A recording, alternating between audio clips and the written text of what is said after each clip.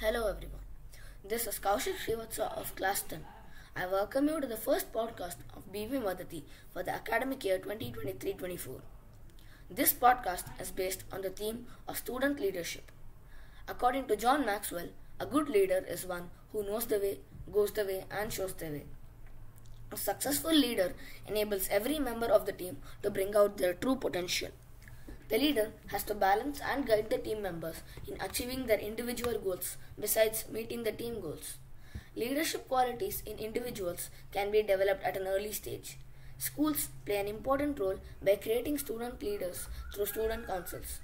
A student council is a body of students that is elected or nominated to take up leadership roles in various activities of the school. Along with leadership comes accountability and responsibility, which are more vital than the authority that this role entails.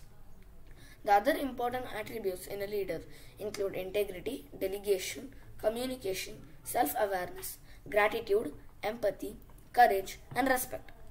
Another important aspect of being a leader is decision making. A good leader involves the team for discussing over critical aspects and uses these inputs to arrive at a decision.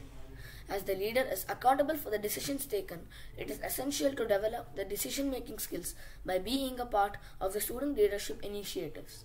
I would like to end this episode by emphasizing that it is essential for students to make use of the opportunities to develop their leadership skills. Until the next episode, this is Kaushik Srivatsa of Class 10 signing off. Thank you.